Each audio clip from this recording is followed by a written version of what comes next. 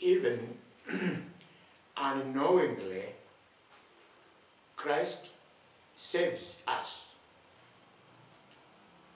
We are on the fourth Lord's Sunday from resurrection.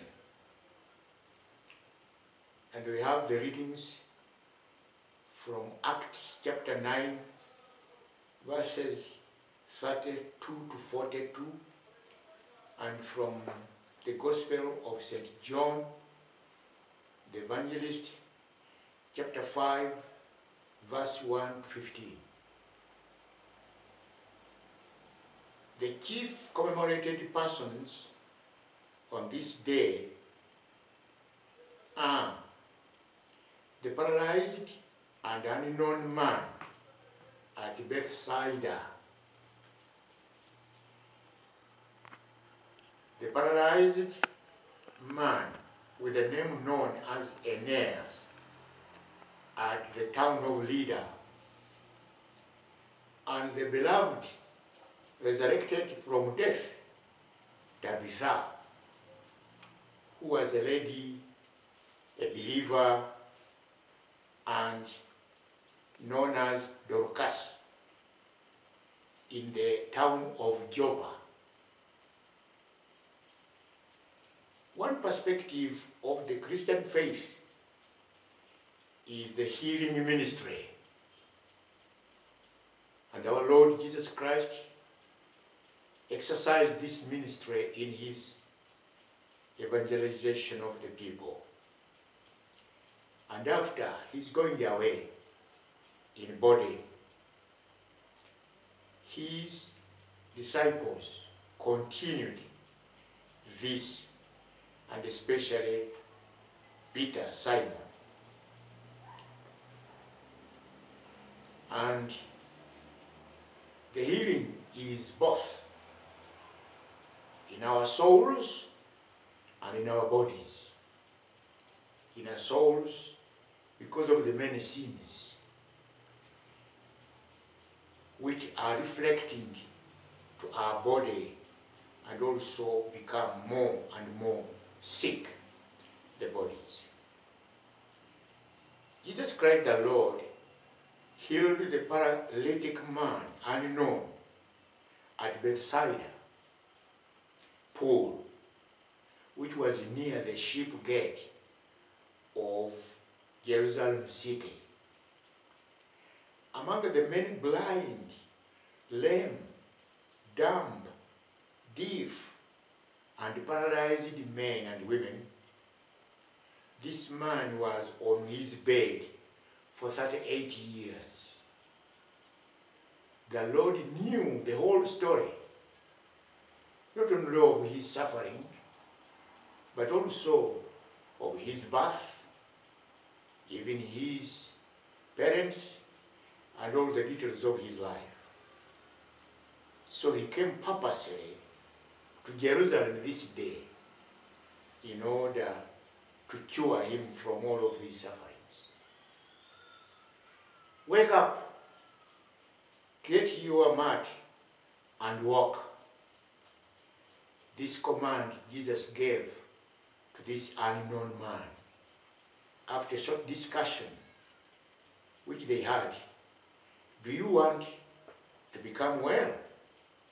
And the man answered, Yes, I want, but I don't have anybody to throw me in this pool when the water is stirring up by the angel. And then our Lord, instead of asking him more questions, he just commanded. And the man took his mat and walked out of the porch at the pool. All the people were amazed and glorified God. But some Jewish people who were with their own system, they maintained to defend this system. They never thought about the glorified intervention of our Lord into our lives. In Jerusalem, being the center of all activities, Simon Peter went to Lydda. That is after the resurrection of the Lord. And I think now that before maybe the sending of the Holy Spirit, because they were, they were in Jerusalem a little bit waiting for this event.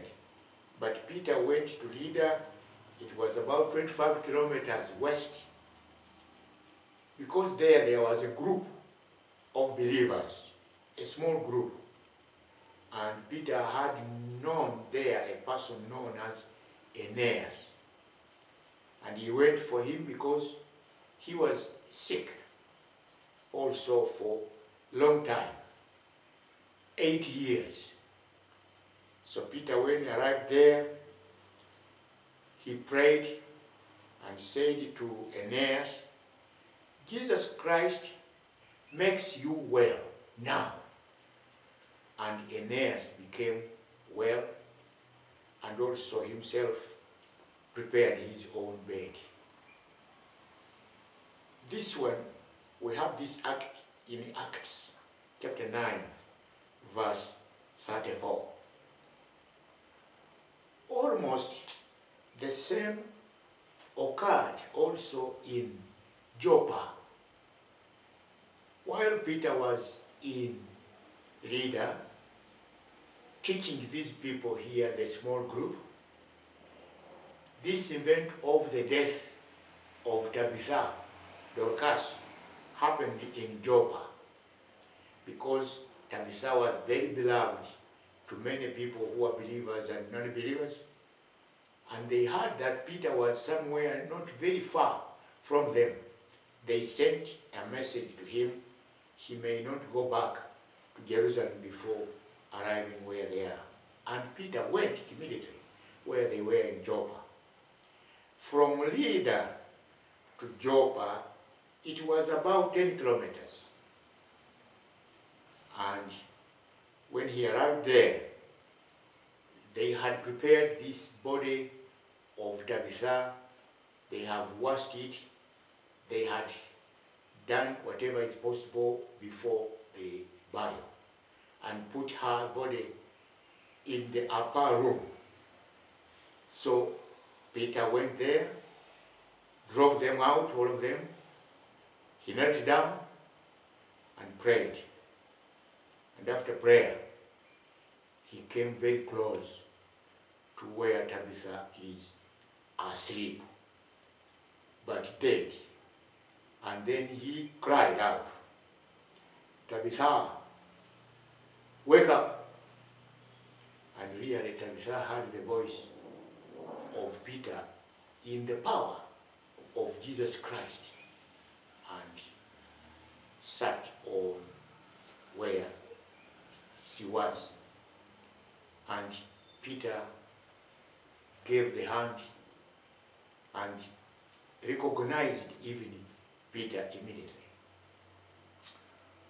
All of these events are giving us the power of our Lord Jesus Christ.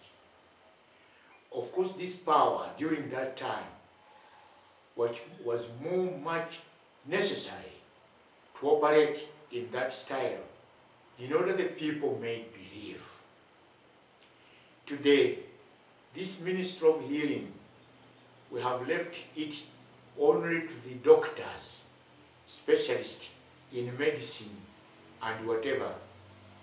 Of course, also I can say our faith is not so strong as the faith of these apostles.